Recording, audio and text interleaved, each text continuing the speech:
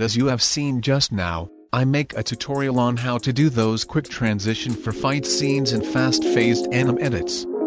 I have also provide the project file with the clips footage. You can check the description. Alright let's begin.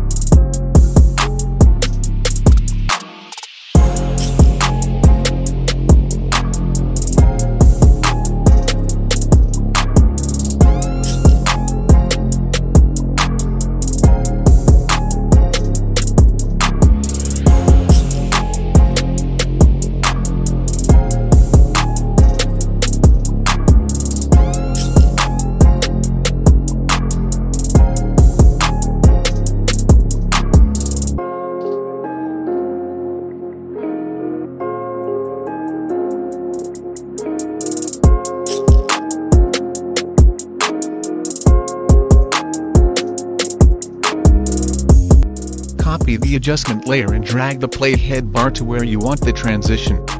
Then click on the clip layer and paste it, the adjustment layer will be automatically above the clips layer you selected and then press big bracket symbol on your keyboard and the adjustment layer will appear right where the playhead bar is.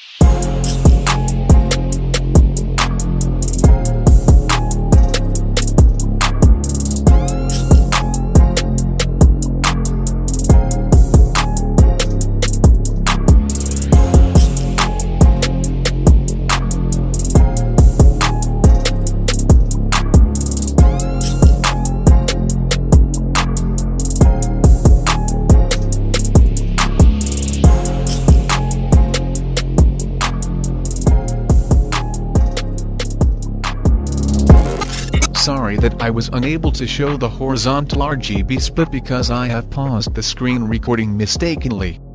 But you can see in the project file, all I did was pass the X and YS shake layer above the turbulence displacement layer and that was all. Thank you.